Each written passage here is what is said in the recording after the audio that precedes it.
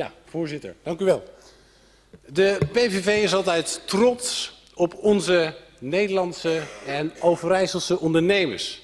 Want zij zijn het die de banen creëren en niet de subsidies van de overheid. Al strooien we er nog zoveel mee. Dus we vinden het ook heel erg belangrijk dat we er als provinciale staten, als provincie Overijssel, zoveel mogelijk aan doen om onze ondernemers in het zadel te houden. Dus toen wij op een gegeven moment schriftelijke vragen gingen stellen om te kijken, is het mogelijk om te voorkomen dat de Chinese bussen hier gaan rijden en dat we Nederlandse bussen hebben rijden, vonden we het ook jammer dat het college een beetje ontwijkend reageerde en zei ja, sorry dat kan niet, want het is een juridische kwestie. Nou, en dat zal ongetwijfeld ook wel een kern van waarheid hebben. Het contract is nu getekend.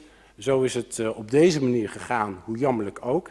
Maar we zouden toch willen oproepen om te kijken... in het vervolg is het mogelijk, om als we een concessie verlenen... om via het programma van eisen toch te kijken of we die regionale banen... en ook die regionale uh, aanbesteding van het werk... of we die in elk geval kunnen meenemen... dat dat een voorwaarde kan zijn. Een pluspunt als we een concessie verlenen. Ja, voorzitter.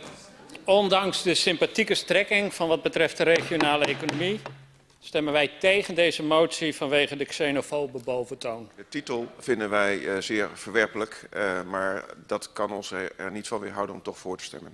Dank u wel, voorzitter. Wij sluiten ons aan bij de woorden van de heer Volkets en zullen tegen deze motie stemmen. Uh, voorzitter, uh, wij stemmen tegen de motie omdat wij het ook uh, niet mee kunnen gaan met de strekking van de titel. Voorzitter, de titel vreemdt de motie, daarom stemmen wij tegen.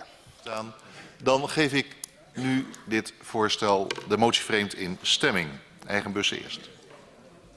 Motie vreemd nummer 7.